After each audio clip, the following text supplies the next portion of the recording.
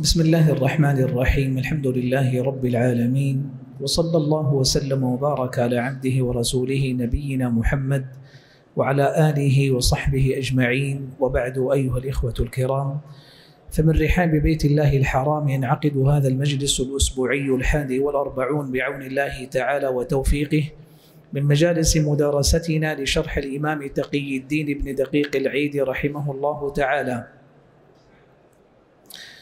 لما جمعه الإمام الحافظ عبد الغني المقدسي رحمه الله تعالى من أحاديث عمدة الأحكام من كلام خير الأنام صلى الله عليه وآله وسلم. وهذا المجلس الحادي والأربعون نشرع به بعون الله وتوفيقه في باب القراءة في الصلاة تاسع أبواب كتاب الصلاة. وقد جمع فيه المصنف رحمه الله ستة أحاديث مما اتفق الشيخان على إخراجها في صحيحيهما اللذين هما أصح الكتب بعد كتاب الله تعالى. سائلين الله التوفيق والسداد والهداية والرشاد. بسم الله الرحمن الرحيم. الحمد لله رب العالمين. والصلاة والسلام على سيد الأولين والآخرين نبينا محمد وعلى آله وصحبه أجمعين. اللهم اغفر لشيخنا ولوالديه ولنا ولوالدينا وللمسلمين. قال المصنف رحمه الله باب القراءة في الصلاة. عن عبادة بن الصامت رضي الله عنه أن رسول الله صلى الله عليه وسلم قال لا صلاة لمن لم يقرأ بفاتحة الكتاب. هذا الحديث الذي تقدم جزء من دلالته فيما مضى من أحاديث الباب السابق في باب صفة صلاة النبي صلى الله عليه وآله وسلم. مثل آخر وكذلك باب حديث المسيء صلاته التي تدور فيها استدلالات الفقهاء رحمهم الله حول مسألة حكم قراءة الفاتحة في الصلاة. وهم مع الاتفاق على وجوبها بين قائل بالركنية كما هو مذهب الجمهور أو الوجوب الذي هو دون الفرضية كما هو مذهب الحنفية إلا أن الخلاف بينهم في مسألة قراءة الفاتحة في كل ركعة في الصلاة أو الاقتصار على بعض ركعات الصلاة وصحة الصلاة بها. فهذا الحديث هو عمدة استدلالاتهم في تلك المسألة مع أدلة أخرى سواها ذلك لوضوح دلالته وصراحته في عدم صحة صلاة من صلى من غير أن تكون صلاته مشتملة على قراءة سورة الفاتحة. فالحديث هذا الذي سيسوق المصنف رحمه الله شرحه عليه أو يملي شرحه عليه متعلق بهذا الأمر كما سيأتي في كلامه رحمه الله تعالى. أحسن الله إليكم. قال رحمه الله عبادة بن الصامت بن قيس بن أصرم أنصاري سالمي عقبي بدري يكنى أبا الوليد عقبي عقبي بدري يكنى أبا الوليد توفي بالشام وقبره معروف به على ما ذكر يقال توفي سنة أربع وثلاثين بالرملة وقيل ببيت المقدس والرملة في فلسطين وبيت المقدس كذلك ويقال توفي بالشام ومنهم من قال إنه توفي بقبرص بالشام وليست قبرص الجزيرة المشهورة. عبادة بن الصامت رضي الله عنه أبو الوليد من خيرة أصحاب رسول الله صلى الله عليه وسلم من الأنصار من الخزرج منهم خاصة. خزرجي سالمي أخو أوس بن الصامت. أمه قرة العين ابن عبادة ابن نضلة بن مالك بن العجلان. ومن مناقبه رضي الله عنه أنه أحد النقباء الاثني عشر ليلة العقبة بل شهد العقبتين الأولى والثانية. وهذه أيضا خصيصة ومنقبة كريمة له شهد بيعة العقبة الأولى والثانية شهد بدرا وأحدا والمشاهد كلها رضي الله عنه وأرضاه. ولذلك يعد من خيرة الصحابة ومن فضلائهم علما وعقلا ورأيا ووجاهة في قومه رضي الله عنه. من مناقبه رضي الله عنه ما قاله محمد بن كعب القرظي قال جمع القرآن في زمن رسول الله صلى الله عليه وسلم من الأنصار خمسة. يقصد من جمع القرآن بأكمله حفظا من الأنصار خمسة معاذ وعبادة وأبي وأبو أيوب وأبو الدرداء رضي الله عنهم جميعا. في خلافة أمير المؤمنين الفاروق عمر رضي الله عنه وجهه إلى الشام. وكلكم يعلم أن أمير المؤمنين عمر رضي الله عنه كان يتخير من الصحابة علماءهم وقراءهم وحذاقهم وعقلاءهم يبعثهم إلى الأمصار والأقطار معلمين وقضاة وأئمة للإسلام في تلك البلدان.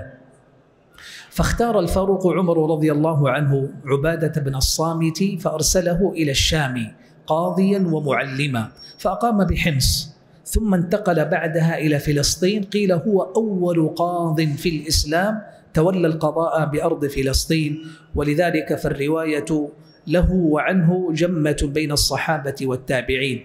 ومن ها هنا كانت وفاته بفلسطين قيل بالرملة وقيل ببيت المقدس لأنه كان بها وقد قضى بقية عمره وآخر حياته هناك رضي الله عنه وأرضاه.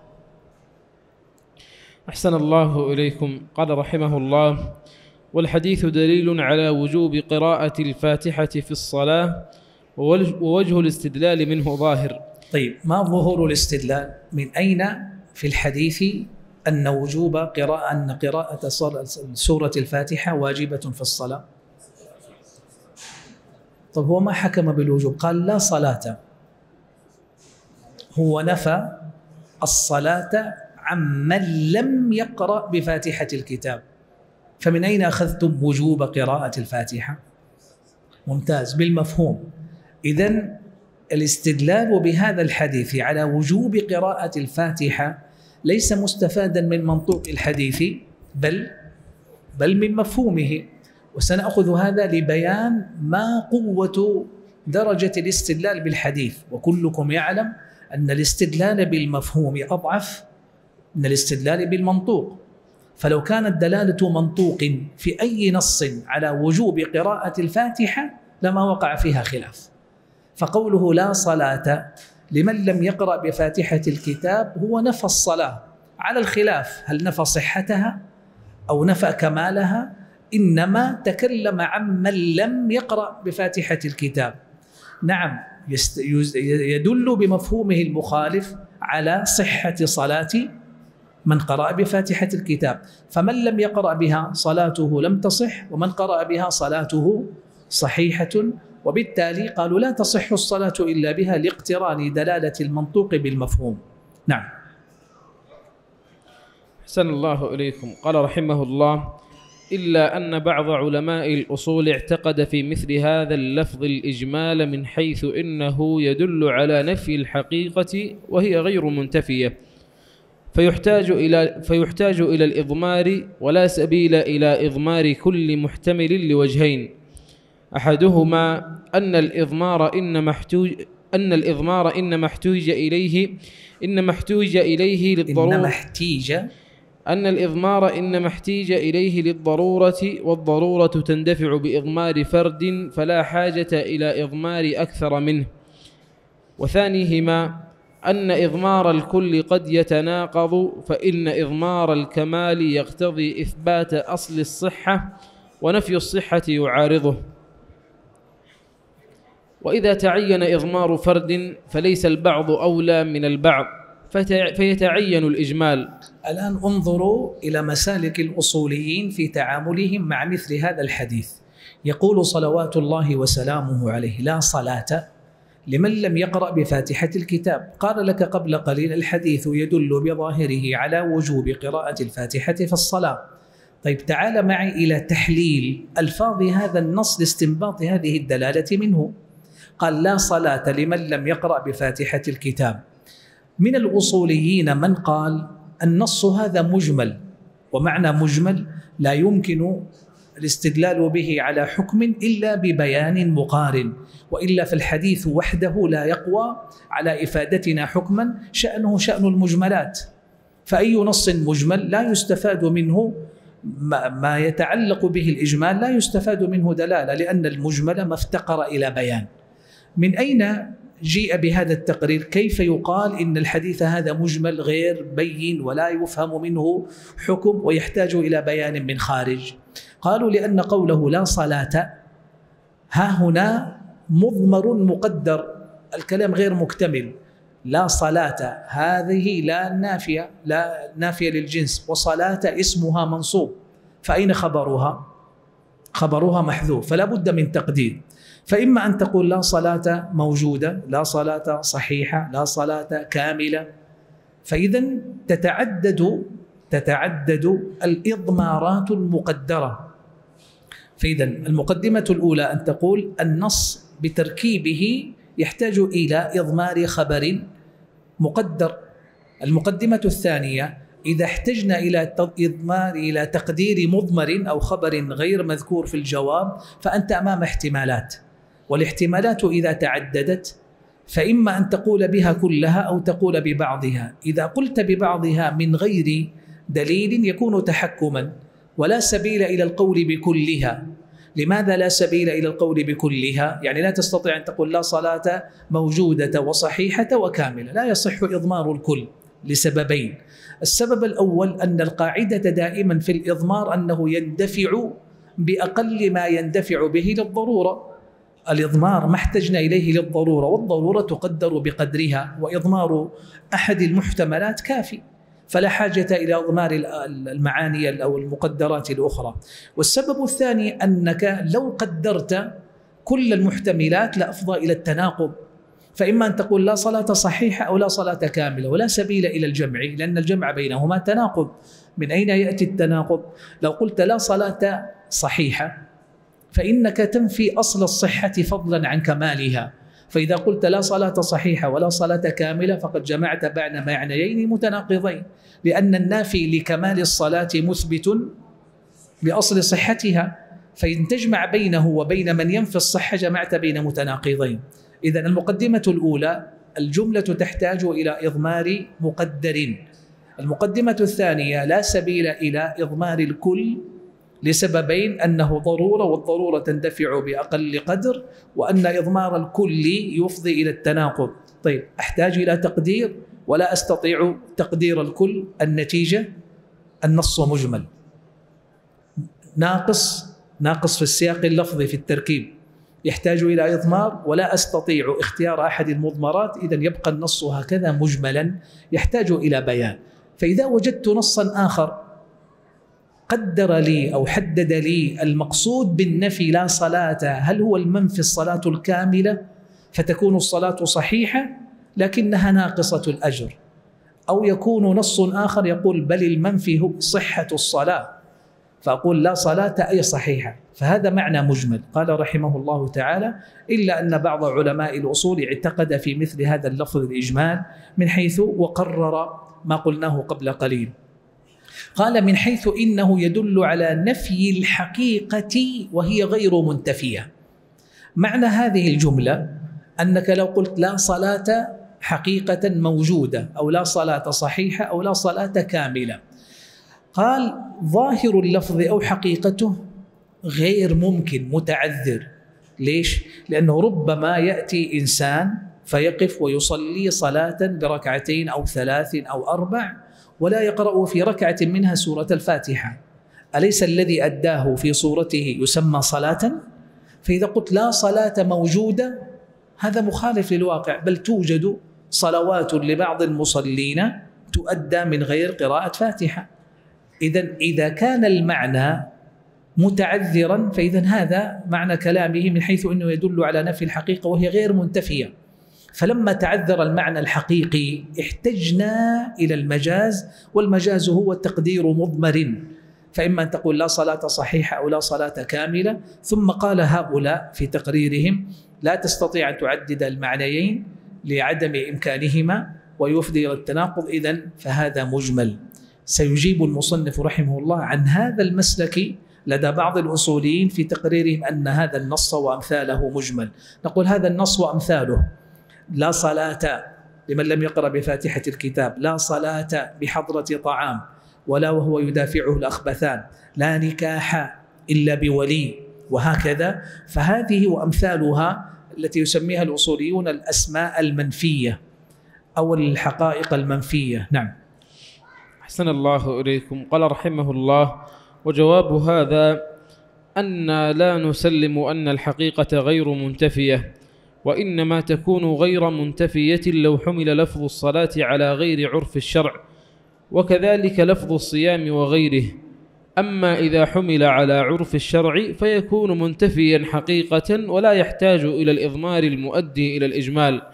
ولكن ألفاظ الشارع محمولة على عرفه لأنه الغالب ولأنه المحتاج إليه فيه. فإنه بعث لبيان الشرعيات لا لبيان موضوعات اللغة. طيب معنى هذا الكلام أنهم لما انطلقوا في تقرير قولهم بأن النص مجمل من تعذر حمل اللفظ على حقيقته نظروا إلى التقدير المضمر ثم قرروا الإجمال. فهو يناقش ابتداء بأن لا نسلم أن المعنى الحقيقي منتف لا صلاة يعني حقيقة لا صلاة موجودة. فقال أنت ماذا تقصد بقولك لا صلاة؟ شكل الصلاة وهيئتها أو تقصد الصلاة التي شرعت في الشريعة؟ فلو صلى صلاة شكلية كبر صامتا وركع صامتا ورفع وسجد كالذي يمثل هيئة الصلاة وهو ما صلى. بل دعنا نقول كمن صلى بلا نية وقف هكذا يمثل هيئة صلاة يصورون صفة الركوع فقالوا تعال آه، نصور آه، نعلم الناس صفة الوقوف وكبر ورفع وركع وهو ما صلى. في الظاهر أن الهيئة هيئة صلاة لكن ليست صلاة شرعية. فأنا لما أقول هذه صلاة أو ليست صلاة إثباتها أو نفيها يتجه إلى الصورة والشكل والمعنى الوجودي أو إلى المعنى الشرعي. خلاص. فإذا قلت لا صلاة لمن لم يقرأ بفاتحة الكتاب والمتكلم هو الشارع فيقصد بالنفي هنا الصلاة الشرعية التي شرعها بأركانها وشروطها ووجباتها ونحوها. فإذا انتفت واختلت فهو يقول لا صلاة وإن وجدت هيئة الصلاة وصورتها في الخارج. فهذا القائل في الجواب المصنف رحمه الله يقول بل نحن نقول إن النفي الحقيقي متحقق لا صلاة فلا يحتاج إلى إضمار لا صلاة موجودة طيب وهذا الذي صلى ليست صلاة. لا صلاة. بلى هو صلى لكن ليست الصلاة الشرعية. فيقول عندئذ نحمل النفي على معنى النفي الشرعي وليس المعنى اللغوي أو الوجودي. ومثله لا صيام لمن لم يبيت النية من الليل. طيب صام وما نوى؟ لا صيام. لكن صمت ما أكلت شيئا ولا شربت ولا أتيت من المفطرات شيئا من الفجر إلى المغرب. لا صيام. فلو قال قائل لكن صورة الصيام وجدت يقال ليس هو الصيام الشرعي. وهكذا لا نكاح لا صيام لا صلاة كل اسم شرعي له حكمه بصفته وأركانه وهيئته وواجباته وشروطه. فإذا جاء في نصوص الشريعة فهو المراد إثباتا أو نفيا. فإذا قال لا صلاة لا صيام لا نكاح طيب لا نكاح إلا بولي. وعمليا هو تزوج من غير ولي. وعمل العقد وبنى بها ودخل وعمل الأوراق. كيف تقول لا نكاح؟ هذا النكاح موجود. هذه حالة وهذه ثنتين وهذه ثلاثة. فيقول لا نكاح شرعي. وإن وجدت صورته أو شكله أو هيئته المنفي هو المعتبر شرعا. لا صلاة معتبرة شرعا. لا نكاح معتبر شرعا. لا صيام وقل مثل ذلك في بقية التقرير. قال رحمه الله الفاظ الشارع محمولة على عرفه لأنه الغالب ولأنه المحتاج إليه فيه. فالعباد يحتاجون إلى الشارع في بيان الحقائق الشرعية وليس كما قال لبيان موضوعات اللغة. هذا مسلك أن يحمل النفي في مثل هذه النصوص على المعنى الشرعي والحقائق الشرعية. فلا يحتاج لا إلى إضمار ولا إلى تقدير. لا صلاة لا صلاة شرعا. طيب عندئذ هل هو ينفي الصحة أو ينفي الكمال؟ ينفي الصحة لا صلاة. من غير أن يقدر لكن لا تسمى صلاة وإن صلى لا يسمى نكاحا وإن نكح لا يسمى صياما وإن صام. لمن لم يبيت إلا بولي لمن لم يقرأ بفاتحة الكتاب وهكذا.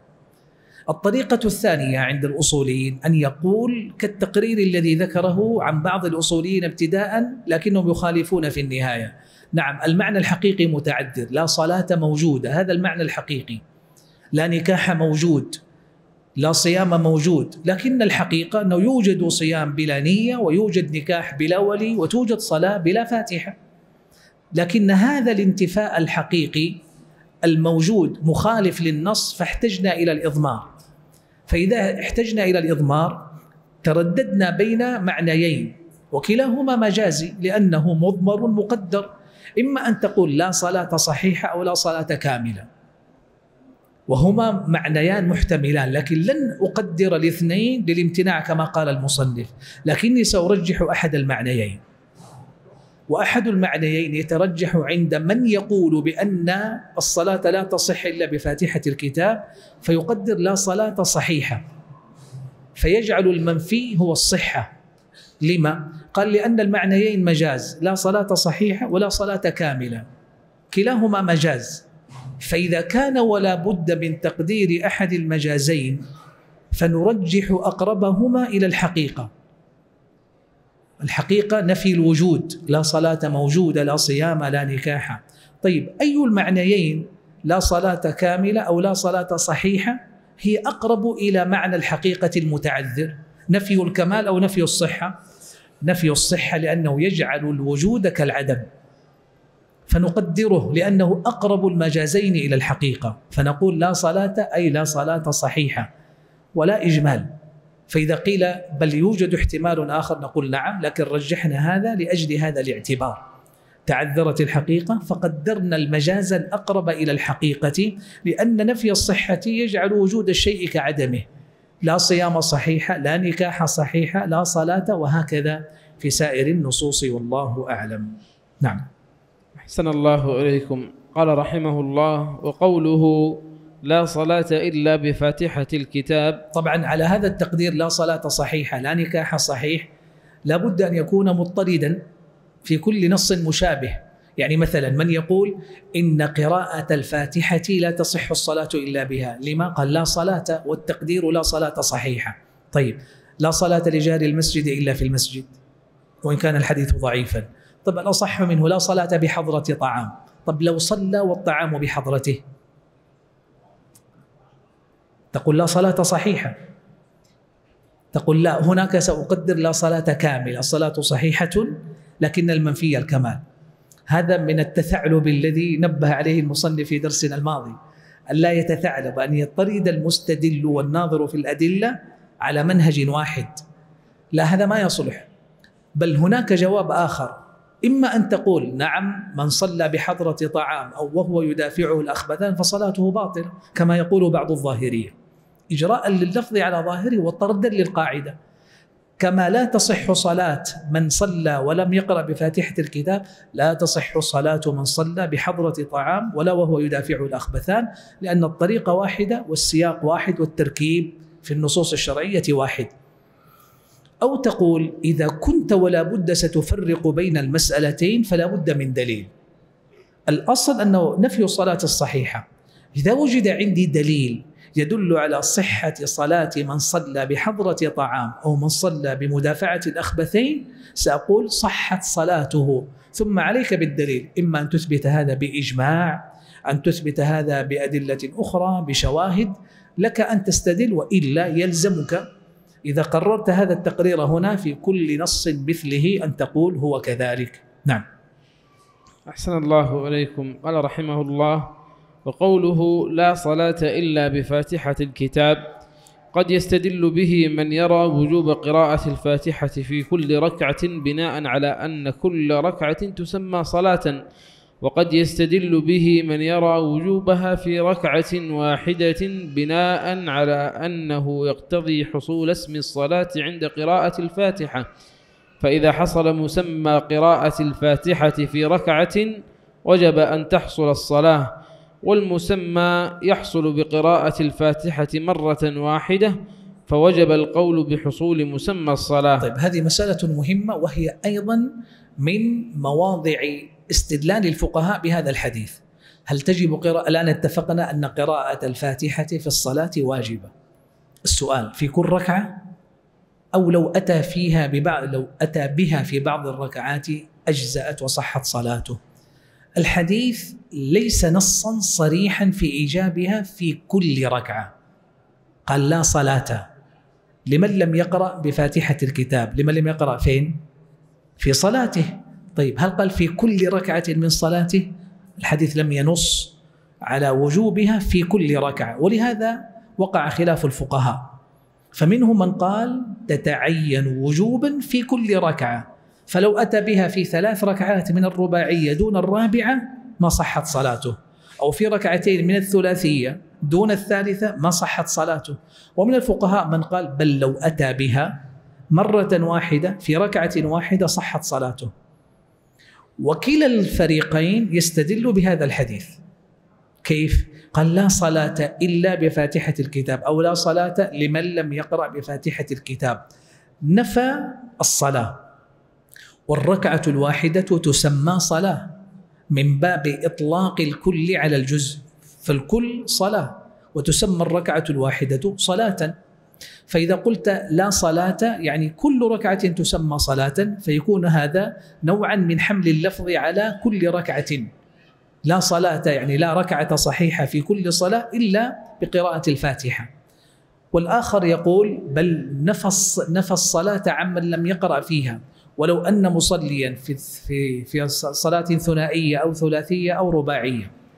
لو قرأ الفاتحة مرة واحدة في إحدى الركعات ألا يصح أن تقول إنه قرأ الفاتحة في الصلاة؟ خلاص يكفي. لا صلاة لمن لم يقرأ بفاتحة الكتاب وهو قرأ. إذا صدق عليه أنه قرأ الفاتحة في الصلاة في الركعتين في الثلاثة في الأربع ولو مرة واحدة. فلهذا وقع الخلاف. ولأن المسألة ليست ظاهرة في استدلال أحد الفريقين قال رحمه الله قد يستدل به وقد يستدل به. فليست نصا ولا مرجح فيها في لفظ الحديث لأحد القولين. فأبدى الاحتمال لإمكانية الاستدلال لهذا الفريق ولهذا الفريق. وهذا أيضا من الأمثلة التي تكررت معنا مرارا في أن مآخذ الفقهاء في الاستنباط من الأدلة يكون سببا للخلاف مع اتحاد الدليل أحيانا الدليل واحد. لكن هذا يستدل بطريقة وذاك يستدل بطريقة فيختلفان في الاستدلال والأحكام التي تنشأ عنها. أعد. قوله لا صلاة. قال وقوله لا صلاة إلا بفاتحة الكتاب قد يستدل به من يرى وجوب قراءة الفاتحة في كل ركعة بناء بناء على أن كل ركعة تسمى صلاة. وقد يستدل به من يرى وجوبها في ركعة واحدة بناء على أنه يقتضي حصول حصول اسم الصلاة عند قراءة الفاتحة. فإذا حصل مسمى قراءة الفاتحة في ركعة وجب أن تحصل الصلاة. والمسمى يحصل بقراءة الفاتحة مرة واحدة فوجب القول بحصول مسمى الصلاة. ويدل على أن الأمر كما ندعيه أن إطلاق اسم الكل على الجزء مجاز ويؤيده قوله صلى الله عليه وسلم خمس صلوات كتبهن الله على العباد فإنه يقتضي أن اسم الصلاة حقيقة لمجموع الأفعال لا لكل ركعة. لأنه لو كان حقيقة في كل ركعة لكان المكتوب على العباد سبع عشرة صلاة. قال خمس صلوات. أنت تقول الفجر صلاة واحدة وهي كم ركعة؟ ركعتان. والظهر صلاة وهي أربع ركعات ولا تقول الظهر أربع صلوات. فلو كان إطلاق اسم الصلاة على الركعة الواحدة حقيقة لقلت إن الظهر أربع صلوات لكن ما تقول هذا لغة. لكن تقول الظهر صلاة فدل على أننا لو سمينا الركعة الواحدة صلاة فيكون مجازا لا حقيقة. واستدل لك بالحديث خمس صلوات والمراد بها ذوات الركعات. قال رحمه الله لو كان اسم الصلاة حقيقة في كل ركعة لكان المكتوب على العباد كم؟ سبع عشرة صلاة لو كان كذلك. نعم. قال وجواب هذا أن غاية ما فيه دلالة مفهوم على صحة الصلاة بقراءة الفاتحة في كل ركعة. فإذا دل دليل خارج منطوق على وجوبها في كل ركعة كان مقدما عليه. طيب تقدم قبل قليل أن الاستدلال على وجوب قراءة الفاتحة في الصلاة من هذا الحديث مستفاد من مفهومه لا من منطوقه لأنه نفى الصلاة عمن لم يقرأها. فأنت تقول إذن فقراءتها واجبة. هذه دلالة مفهوم لا دلالة منطوق. قال غاية ما في الحديث دلالة مفهوم على صحة الصلاة بقراءة الفاتحة في كل ركعة. طيب قال لو وجدنا دليلا يستفاد بمنطوقه على وجوبها في كل ركعة لكان مقدما. واكتفى رحمه الله تعالى بهذه الإشارة ولم يخض في تفاصيل ما يذكره الفقهاء. وتقدم معكم ليلة الدرس الأسبوع المنصرم أن حديث المسيء صلاته لما قال له النبي صلى الله عليه وسلم إذا قمت إلى الصلاة فكبر ثم اقرأ ما تيسر معك من القرآن. والخلاف هناك بين الحنفية والجمهور هل الفاتحة متعينة؟ ظاهر الحديث يدل لرجحان مذهب الحنفية قال ثم قرأ ما تيسر.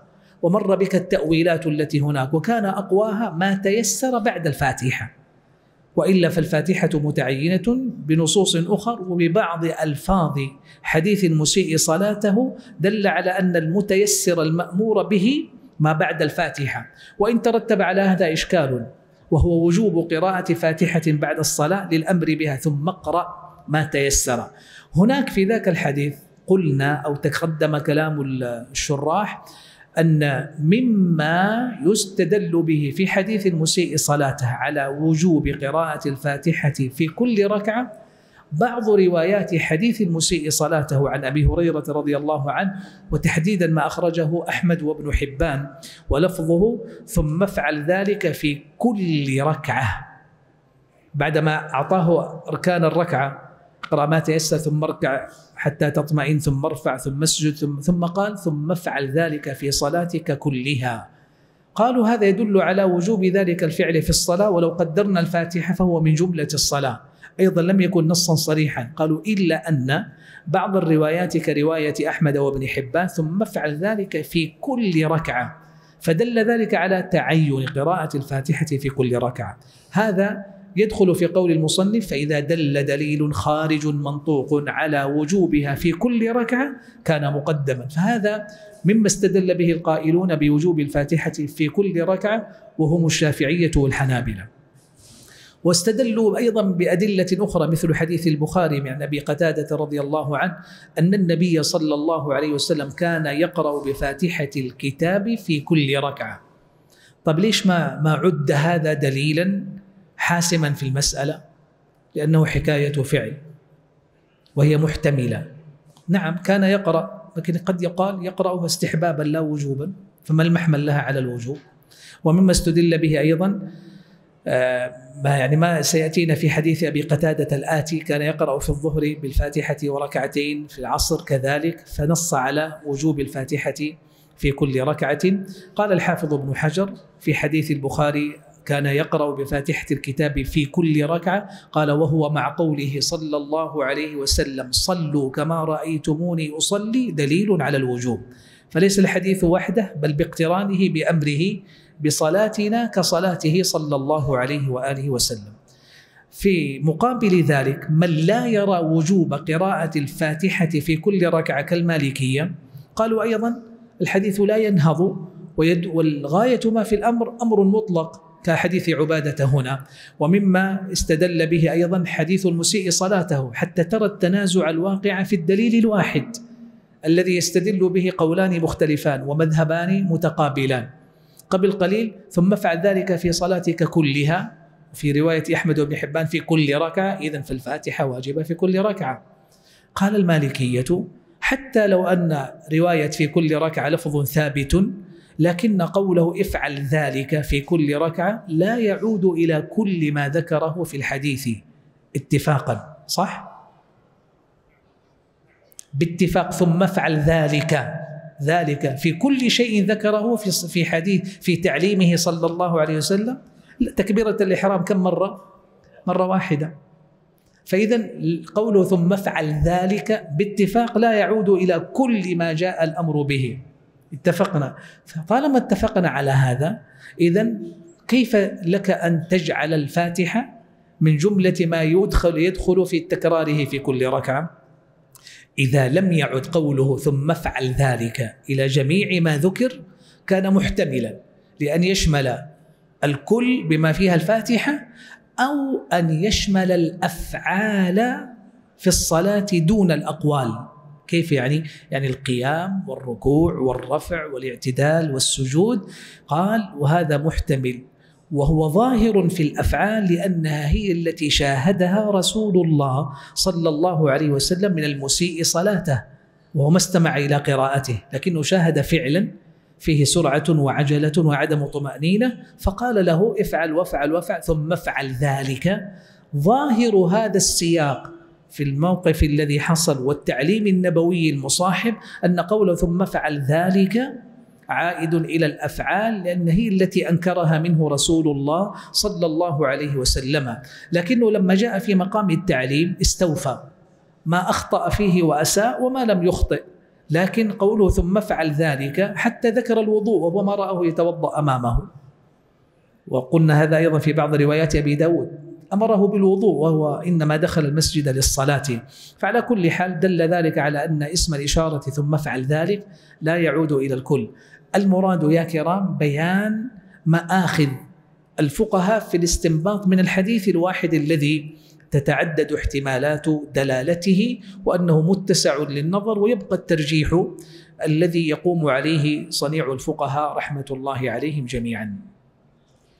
أحسن الله إليكم. قال رحمه الله وقد يستدل بالحديث من يرى وجوب قراءة الفاتحة على المأموم. طيب انتقل إلى مسألة ثانية. فرغنا من قضية قراءة الفاتحة للإمام والمنفرد ووجوبها. ومسألة هل تجب في كل ركعة أو لا تجب؟ لم يخض المصنف رحمه الله في ترجيح شيء إنما أشار إليك كيف يستدل بالحديث.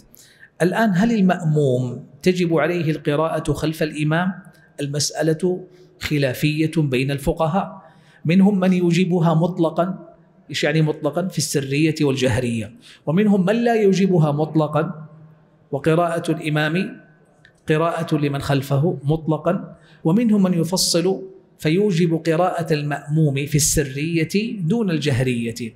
قال هذا الحديث قد لأنه ليس نصا صريحا قد يستدل به من يوجب القراءة على المأموم. كيف؟ لا صلاة ولم يقيد إماما أو مأموما أو منفردا وصلاة المأموم تسمى صلاة. نعم. أحسن الله إليكم. قال رحمه الله وقد يستدل بالحديث من يرى وجوب قراءة الفاتحة على المأموم لأن صلاة المأموم صلاة فتنتفي عند انتفاء قراءة الفاتحة فإن وجد دليل يقتضي تخصيص صلاة المأموم من هذا العموم قدم على هذا وإلا فالأصل العمل به. تمام. لا صلاة إماما كنت أو مأموما. قال فإن وجد دليل يخصص المأموم من هذا الحكم خصصناه وإلا فهو داخل. طيب. قال من لا يوجب القراءة على المأموم؟ وجدنا حديثا وأوردوا في هذا حديث عباد حديث جابر بن عبد الله من كان له إمام فقراءة الإمام له قراءة. والحديث مروي من طرق كثيرة مرفوعا وموقوفا موصولا ومنقطعا. لكن الأئمة المحدثين كالبيهقي والدار قطني وابن عدي صححوا إرساله أنه ليس مرفوعا متصلا عن رسول الله صلى الله عليه وآله وسلم. ويستدل له بأدلة أخرى كحديث صحيح مسلم لما قيل لأبي هريرة وقد روى حديث من صلى صلاة لا يقرأ فيها بأم القرآن فهي خداج ثلاثا. قيل لأبي هريرة إنا نكون وراء الإمام قال اقرأ بها في نفسك. فدل على أنهم يرون وجوبها أو بعض الصحابة كان مذهبه وجوب كان مذهبه وجوب قراءة الفاتحة حتى على المأمومين. حديث عبادة بن الصامت أيضا عند أبي داود والترمذي قال كنا خلف رسول الله صلى الله عليه وسلم في صلاة الفجر فقرأ فثقلت عليه القراءة فلما فرغ قال لعلكم تقرؤون خلف إمامكم؟ قلنا نعم يا رسول الله. قال لا تفعلوا إلا بفاتحة الكتاب فإنه لا صلاة لمن لم يقرأ بها. والحديث عند أبي داود والترمذي كما تقدم. فدل هذا على أن من يقول بوجوب قراءة الفاتحة على المأموم يستدل بلا صلاة لمن لم يقرأ والحديث يشمله ويستدل بمؤكدات أخرى. أبو هريرة قيل له إنا نكون وراء الإمام قال قرأ بها في نفسك ولم يرخص في تركها. وحديث عبادة أيضا قال لا تفعلوا إلا بفاتحة الكتاب. فهذا مما يقوي القول بوجوب الفاتحة على المأموم. في مقابل ضعف حديث آه، من كان له إمام فقراءة الإمام له قراءة لأنه لا يصح وضعف كثير من الحفاظ الحديث كما سمعتم وكما نص على ذلك أيضا الأئمة كالحافظ ابن حجر وغيره. وهذا في المقصود أيضا لبيان ما قاله المصنف. فإن وجد دليل يقتضي تخصيص صلاة المأموم من هذا العموم قدم عليه وإلا فالأصل العمل به. نعم. أحسن الله إليكم. قال رحمه الله الحديث الثاني وعن أبي قتادة الأنصاري رضي الله عنه أنه قال كان رسول الله صلى الله عليه وسلم يقرأ في الركعتين الأوليين من صلاة الظهر بفاتحة الكتاب وسورتين يطول في الأولى ويقصر في الثانية. يسمع الآية أحيانا وكان يقرأ في العصر بفاتحة الكتاب وسورتين يطول في الأولى ويقصر في الثانية. وكان يطول في الركعة الأولى من صلاة الصبح ويقصر في الثانية. وفي الركعتين الأخريين بأم الكتاب. الأوليان تثنية الأولى وكذلك الأخريان. وأما ما يشيع على الألسنة من الأولة وتثنيتها بالأولتين فمرجوح في اللغة. يعني ما يشيع على الألسنة من التعبير عن الأولى بدل جعلها مؤنثة بألف التأنيث المقصورة أن تكون بتاء التأنيث. فيقولون الأولة. فإذا جاءت بالتاء تاء التأنيث فيكون تثنيتها أيضا بالتاء فيقال الأولتين. قال هذا خطأ شائع. الصواب الأولى والتثنية الأوليان وهكذا. ويتعلق بالحديث أمور. طيب هذا الحديث آه، أورده المصنف رحمه الله في هذا الباب وهو ظاهر الدلالة فيه. ما الذي يقرأ في الصلاة؟ أورد هنا حديث أبي قتادة رضي الله عنه وفيه ما الذي كان يقرأه النبي صلى الله عليه وسلم؟ فذكر صلاة الظهر والعصر. قال يقرأ في الركعتين الأوليين من الظهر بالفاتحة وسورتين يطول في الأولى ويقصر في الثانية. بسورتين في كل ركعة يقرأ في الركعتين الأوليين من صلاة الظهر بفاتحة الكتاب وسورتين يعني في كل ركعة فاتحة وسورتين فاتحة وسورتين. صح؟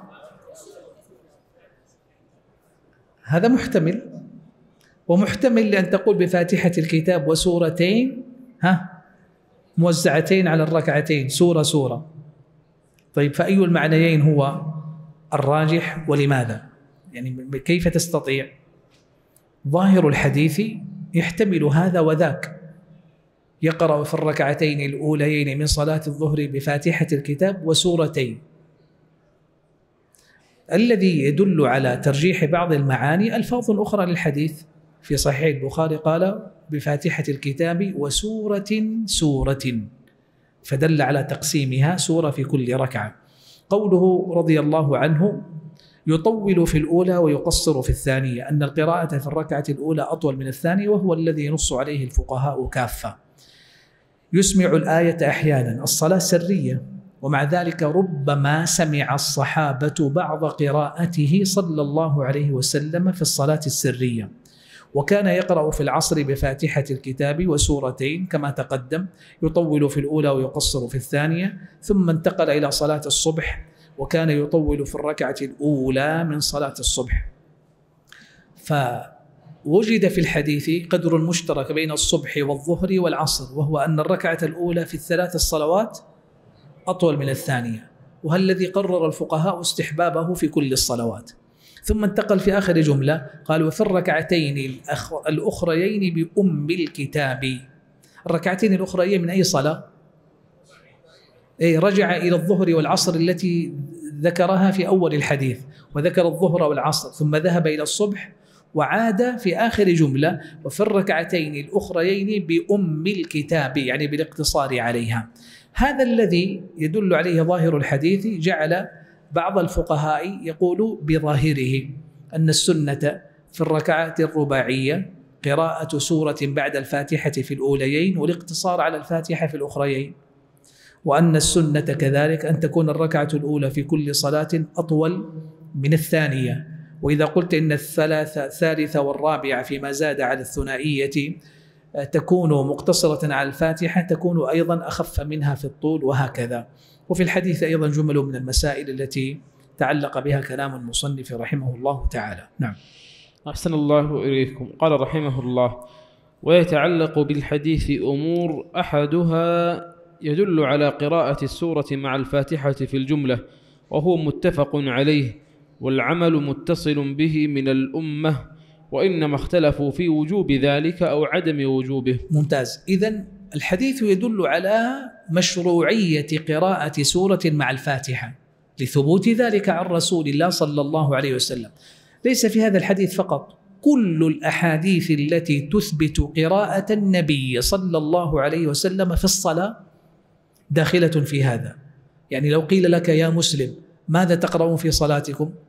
وجاءك حديث عهد بإسلام ستقول له الفاتحة أهم شيء ثم تقرأ ما تيسر معك من القرآن. إذا يثبت عندنا في مشروعية الصلاة قراءة سورة بعد الفاتحة. هذا لا خلاف فيه. الخلاف في حكم قراءة ما زاد على الفاتحة. أهو على الوجوب أم على الاستحباب؟ الحديث هذا على ماذا يدل؟ الحديث هذا على ماذا يدل؟ الحديث ليس فيه إلا نسبة الفعل إلى رسول الله صلى الله عليه وسلم وتقدم أنه بذاته لا يدل على وجوب ولا استحباب إنما يدل على المشروعية في الجملة. نعم. قال أحدها يدل على قراءة السورة مع الفاتحة في الجملة وهو متفق عليه والعمل متصل به من الأمة. وإنما اختلفوا في وجوب ذلك أو عدم وجوبه وليس في مجرد الفعل كما قلناه ما ي... كما قلناه ما يدل على الوجوب وليس في مجرد الفعل كما قلناه ما يدل على الوجوب إلا أن يتبين أنه وقع بيانا لمجمل واجب ولم يرد دليل راجح على إسقاط الوجوب. يعني دائما تقول الأفعال النبوية لا تحمل على الوجوب إلا إذا جاءت بيانا لمجمل واجب. فيستفاد الوجوب من المجمل الذي جاء هذا الفعل بيانا له لا من الفعل النبوي نفسه. الفعل النبوي لا يستفاد منه في ذاته وجوب ولا استحباب. إنما يستفاد من الفعل النبوي في الجملة شيء واحد أن الفعل هذا جائز ومباح وإلا لم يفعله رسول الله صلى الله عليه وسلم. فإن كان هذا الفعل في عبادة فلن يكون في حدود الإباحة فقط. يرتقي إما إلى الاستحباب أو إلى الوجوب إلى هذا القدر فقط. فكل حديث يرويه الصحابة رضي الله عنهم في الصلاة في الصيام في الزكاة في الحج في الطواف في السعي في الحج في العمرة في الدعاء هذه أفعال عبادية. ما يثبت فيها يثبت فيها عن رسول الله صلى الله عليه وسلم هو متردد بين الاستحباب والوجوب. لا سبيل إلى حمله على الوجوب إلا إذا وقع بيانا لمجمل واجب ولم يرد دليل راجح على إسقاط الوجوب. نعم. أحسن الله إليكم. قال رحمه الله وقد ادعي في كثير من الأفعال التي قصد إثبات وجوبها أنه أنها بيان للمجمل. وقد تقدم لنا في هذا بحث وهذا الموضع مما يحتاج مما يحتاج مما يحتاج من سلك تلك الطريقة إلى تلك الطريقة إلى إخراجه عن كونه بيانا وإلى أن يفرق بينه وبين ما ادعي في كونه فيه وبين ما ادعي فيه كونه بيانا من الأفعال فإنه ليس معه في تلك المواضع إلا مجرد الفعل وهو موجود ها هنا. هذا الموضع قراءة سورة مع الفاتحة أو بعد الفاتحة. من لم يقل بأنها واجبة يحتاج إلى طريقة يسلكها ليخرج هذا الفعل عن كونه بيانا لمجمل واجب. ليش؟ لأنه في تلك المواضع كلما وجد فعلا نبويا قال وجوب. ليش وجوب؟ قال يا أخي هو بيان لقوله أقيموا الصلاة. وأقيموا الصلاة مجمل واجب فكل فعل نبوي تعلق ببيان فعل الصلاة سيكون بيانا لذلك المجمل. ولأن ذلك المجمل واجب فكل فعل نبوي وقع بيانا له سيكون واجبا. هذا سيواجه اشكالا منها هنا. إذا كان لا يقول بوجوب قراءة سورة بعد الفاتحة يحتاج إلى جواب. لأنه سلك قبل قليل طريقة كلما احتاج إلى إيجابه من الأفعال في الصلاة قال هكذا فعل نبوي جاء بيانا لمجمل واجب إذا هو واجب. قال فليس معه في تلك المواضع إلا مجرد الفعل وهو موجود هنا فلا بد من القول. فإما أن يقول إن قراءة سورة بعد الفاتحة واجبة فيكون مضطردا في أصله كل فعل عنده وقع بيانا للصلاة هو واجب. أو يفرق فيحتاج إلى دليل وهو أيضا الذي نبه عليه المصنف ألا ترتضى طريقة عدم الاضطراد أن يسير على منهج واحد. نعم. أحسن الله إليكم. قال رحمه الله الثاني اختلف العلماء في استحباب قراءة السورة في الركعتين الأخريين وللشافعي قولان. وقد يستدل بهذا الحديث على اختصاص قراءة السورة بالأوليين فإنه ظاهر الحديث. حيث فرق بين الأوليين والأخريين فيما ذكره من قراءة السورة وعدم قراءتها. طيب قال رحمه الله فيه خلاف هل تستحب قراءة سورة في الركعتين الأخريين أو لا؟ قال وللشافعي قولان فالقول بعدم الاستحباب أخذا بظاهر حديث أبي قتادة رضي الله عنه. ليش؟ لأنه فرق بين الركعتين الأوليين والأخريين. لأن الركعتين الأوليين هي التي يقرأ فيهما بسورة بعد الفاتحة بخلاف الركعتين الأخيرتين. ومن رأى الاستحباب قال كلها صلاة وعدم ذكرها لا يدل على عدم مشروعيتها. غاية ما في الأمر أنه أراد التفريق في الطول أراد أن يقول لنا سورتين يطول في الأولى ويقصر في الثانية لا إثبات أصل القراءة بل أراد وصفها. قال وقد يستدل بهذا الحديث على اختصاص قراءة السورة بالأوليين فإنه ظاهر الحديث فرق بين الأوليين والأخريين فيما ذكره من قراءة السورة وعدمها. قال وقد يحتمل غير ذلك. هذا مسلك من يقول إن القراءة غير خاصة بالركعتين الأوليين. فلو قلت له لكن حديث أبي قتادة رضي الله عنه نص على قراءة السورتين في الركعتين الأوليين فقط. سيقول لك لا هو ما أراد إثبات أصل القراءة أراد وصفها.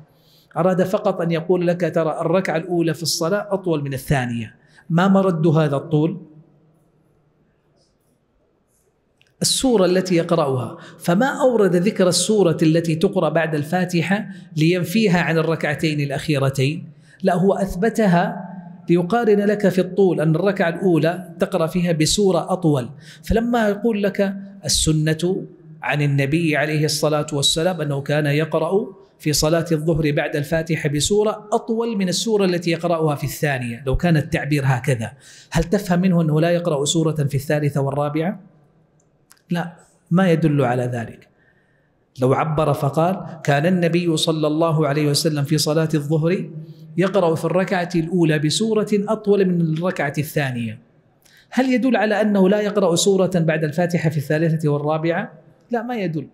قال رحمه الله وقد يحتمل غير ذلك لاحتمال اللفظ أن يكون أراد تخصيص الأوليين الأولى والثانية بالقراءة الموصوفة بهذا الصفة. فما أراد إثبات أصل القراءة؟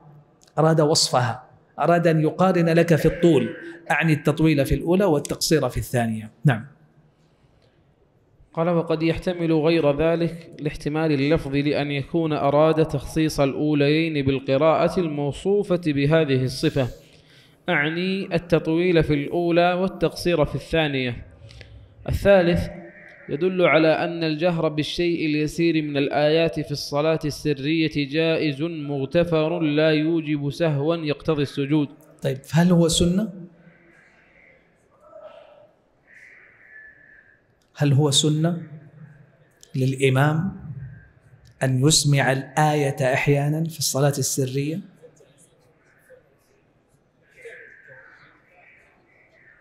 جواز يعني وليس الاستحباب قل كان النبي صلى الله عليه وسلم يقرأ في الظهر في الأولين بفاتحة الكتاب وسورتين كل ذلك عطفه على كان يفعل. قال ويسمع الآية أحيانا يعني كان أحيانا يسمع الآية. قال الفقهاء هذا محتمل لأن يكون هذا الفعل النبوي مقصودا. وأراد به النبي صلى الله عليه وسلم بيان أن الإسرار ليس شرطا لصحة الصلاة السرية وأنه لو وقع فيها الجهر صحت الصلاة. هذا محتمل أن يكون قصد هذا الفعل لبيان الجواز وأن الإسرار في السرية أفضل. لكن لو جهر فالصلاة غير باطلة. ومن هنا قالوا الإسرار سنة من سنن الصلاة. في السرية والجهر سنة في الجهرية. فلو أسر في الجهرية أو جهر في السرية صحت صلاته لأن حكمنا بأنها من سنن الصلاة لا من واجباتها. ويحتمل أيضا أن جهره صلى الله عليه وسلم الذي حكاه أبو قتادة رضي الله عنه لم يكن مقصودا. كيف يعني؟ قالوا ربما حصل هذا بسبق لسان. للاستغراق في التدبر. يعني كان عليه الصلاة والسلام يقرأ وربما استغرق في تدبره لما يقرأ فارتفع صوته. وهذا قد يبدو أظهر ابتداء لمن عرف شأن النبي عليه الصلاة والسلام في صلاته. وهذا قد يكون راجحا لولا التعبير بقوله يسمع. من الفعل أسمع. في فرق بين يسمع وبين سمعنا منه. في قصد للإسماع يعني كان يرفع صوته عمدا ليجعل غيره يسمع كان يسمع الآية فيقتضي القصد والله أعلم. نعم. أحسن الله إليكم. قال رحمه الله الرابع يدل على استحباب تطويل الركعة الأولى بالنسبة إلى الثانية. في سنن النساء كذلك مما يدل على قضية إسماع الآية أحيانا من حديث البراء رضي الله عنه قال كنا نصلي خلف النبي صلى الله عليه وسلم فنسمع منه الآية بعد الآية من سورة لقمان والذاريات. يعني مو نصف آية مو أول الآية ثم يسر بقيتها. قال فنسمع منه الآية بعد الآية من سورة لقمان والذاريات. وعند ابن خزيمة في صحيحه مثله من حديث أنس قال نسمع بسبح اسم ربك الأعلى نسمع الآية بعد الآية من سبح اسم ربك الأعلى وهل أتاك حديث الغاشية؟ فقوله في الرواية هنا أحيانا يدل على تكرر هذا وأنه لم يحصل نادرا أو أو مرة من غير تكرار. والله أعلم.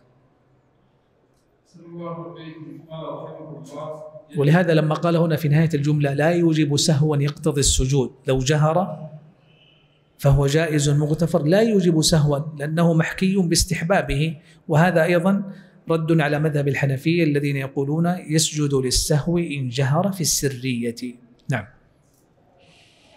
أحسن الله إليكم. قال رحمه الله الرابع يدل على استحباب تطويل الركعة الأولى بالنسبة إلى الثانية فيما ذكر فيه.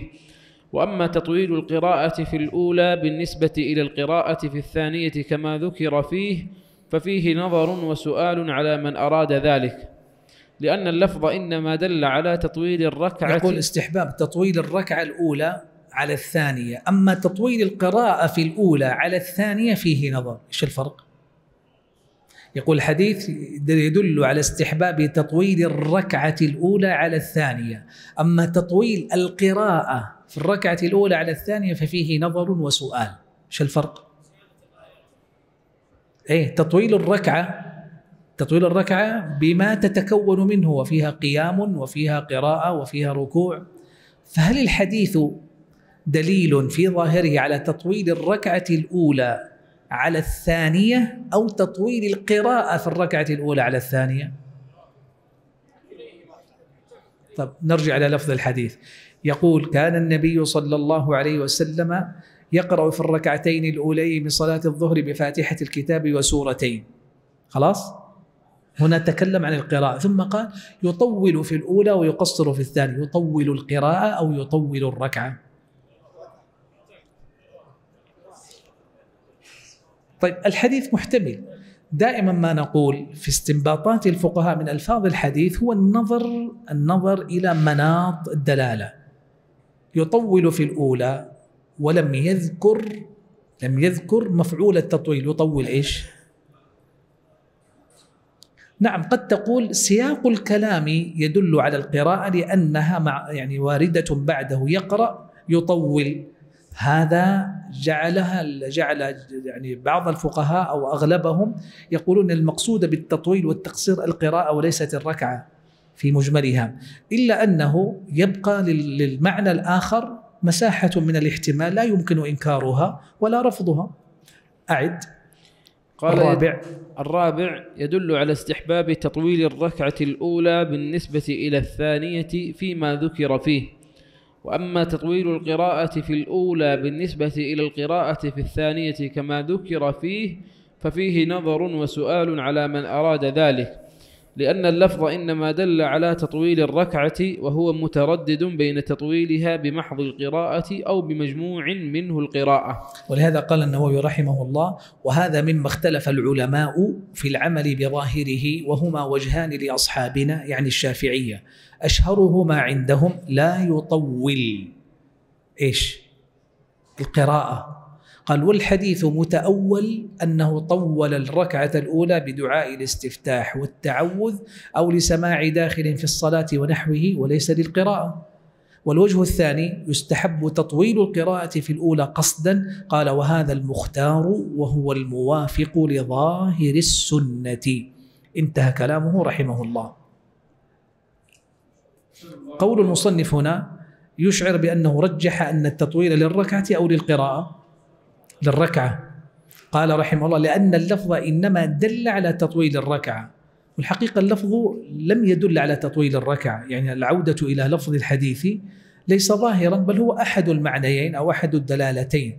قوله بمجموع منه القراءة القراءة ودعاء الاستفتاح والترتيل وربما كان يتأنى صلى الله عليه وسلم ليسمع صوت الداخل أو يطول الركعة حتى لا يسمع قرع نعال أو لا يسمع صوت أحدهم داخلا إلى المسجد. ولهذا معنى قولهم في بعض أوصاف قراءته صلى الله عليه وسلم حتى تكون السورة أطول من أطول منها. هي السورة نفسها لكن كيف حصل الطول؟ بتأنيه في القراءة وترتيله أو ربما بتدبره. إذا ليس تطويلا في القراءة بقدر ما هو التطويل في الركعة. فهذا ممن استدل به من قال ما قال به المصنف أن المقصود تطويل الركعة وليست القراءة خاصة إلا أن الروايات الأخرى لأحاديث صفات أو مقادير قراءة النبي عليه الصلاة والسلام في الصلوات ترجح المعنى الآخر أن التطويل والتقصير عائد إلى القراءة خاصة حتى ضبطت مقادير الآيات. التي يقرأ بها في الصلوات. منها مثلا حديث مسلم عن أبي سعيد الخدري كان يقرأ في الظهر في الأوليين في كل ركعة قدر ثلاثين آية. ولابن ماجه أن الذين حرزوا ذلك كانوا ثلاثين من الصحابة وفي الركعة الثانية على نصفها. وادعى بعضهم كما قال المصنف وهو صنيع بعض الفقهاء كابن حبان أن الركعة الأولى تزيد على الثانية بالترتيل لا في مقدار القراءة لأن المقدار واحد وهو سواء وهو قول لبعض الفقهاء كما سمعت من ترجيح المصنف رحمه الله تعالى. نعم. أحسن الله إليكم. قال رحمه الله فمن لم ير أن يكون مع القراءة غيرها وحكم باستحباب تطويل الأولى مستدلا بهذا الحديث لم يتم له إلا بدليل من خارج على أنه لم يكن مع القراءة غيرها. ويمكن أن يجاب عنه بأن المذكور هو القراءة والظاهر أن التطويل والتقصير يرجعان إلى ما ذكر قبلهما وهو القراءة. نعم وهو الذي قال عنه الإمام النووي رحمه الله تعالى إنه المختار الموافق لظاهر السنة والله أعلم. أحسن الله إليكم. الخامس فيه دليل على جواز الاكتفاء بظاهر الحال في الإخبار دون التوقف على اليقين لأن الطريق إلى العلم بقراءة السورة في السرية لا يكون إلا بسماع كلها وإنما يفيد يقين ذلك لو كان في الجهرية وكأنه أخذ من سماع بعضها مع قيام القرينة على قراءة باقيها. طيب الآن الصحابي لما قال يسمعنا الآية أحيانا إذا هو ما علم أنه يقرأ سورة بعد الفاتحة إلا بسماع بعضها. قال فيه جواز الاكتفاء بظاهر الحال في الإخبار دون التوقف على اليقين. فالطريق إلى العلم بقراءة سورة بعد الفاتحة في صلاة سرية غير مسموعة لا يتم إلا بسماع السورة. ما تستطيع أن تقول كان يقرأ في صلاة العصر بسورة النازعات أو يقرأ في صلاة الظهر بسورة الملك. ما تستطيع أن تحدد إلا بأحد أمرين.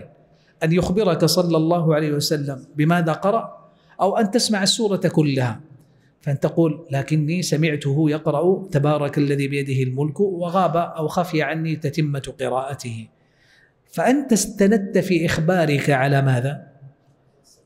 على سماع بعض أو الإخبار ببعضها وهو ظاهر وليس يقينا.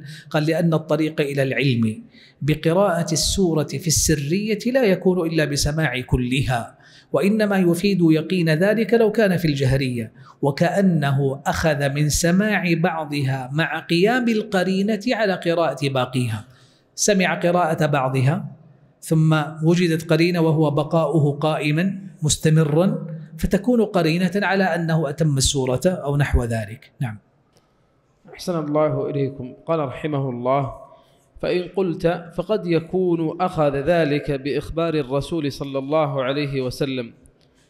قلت لفظة كان ظاهرة في الدوام أو الأكثرية ومن ادعى أن الرسول صلى الله عليه وسلم كان يخبرهم عقيب الصلاة دائما أو أكثريا بقراءة السورتين فقد أبعد جدا. جدا جدا لأن هذا لم يورد أصلا في الروايات ولا نجد مثله مع كثرة ما أثر عن الصحابة رضي الله عنهم من صلوات رسول الله صلى الله عليه وسلم. آه، فلو أضفت إلى هذا ما جاء في الروايات الأخرى التي تفيد اطلاع الصحابة رضي الله عنهم أو توافقهم على أنه كان يقرأ صلى الله عليه وسلم في الصلوات السرية بقراء ودلائل متعددة. مر حديث البراء كان يسمعنا الآية بعد الآية من سورة لقمان والذاريات. وأيضا عند أبي داود كانوا يعرفون قراءته في الظهر باضطراب لحيته. فلو كان صامتا ما يتحرك فكه فلا يرى اضطراب لحيته إلا بحركة فم وحديث خباب. فاضطراب اللحية وإن كان محتملا لغير القراءة قد يكون حرك فمه بالذكر. أو بالدعاء ونحوه لكن بقرينة أخرى أن أن موضع القيام في الصلاة قراءة القرآن. كان هذا أيضا من القرائن التي استندوا إليها رضي الله عنهم. فجاء مثل حديث أبي قتادة وحديث البراء يسمعون الآية أحيانا من أقوى ما يستدل به على قراءة السورة بعد الفاتحة في الصلاة والله أعلم.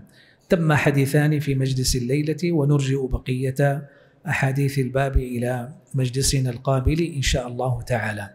ولم يتطرق الشارح أيضا إلى مسألة قراءة سورة بعد الفاتحة في الركعتين الأخريين أو في الثالثة من المغرب. وهي أيضا مما تناولها بعض الشراح والحديث إن دل على مشروعية السورة في الركعتين الأوليين بمنطوقه فإنه قد يستدل بمفهومه على عدم قراءة سورة بعد الفاتحة في الركعتين الأخيرتين. وهذا يعني وإن كان ليس قويا لكنه مما استند إليه الفقهاء عدم مشروعية قراءة سورة في الأخيرتين من الظهر والعصر والعشاء وثالثة المغرب.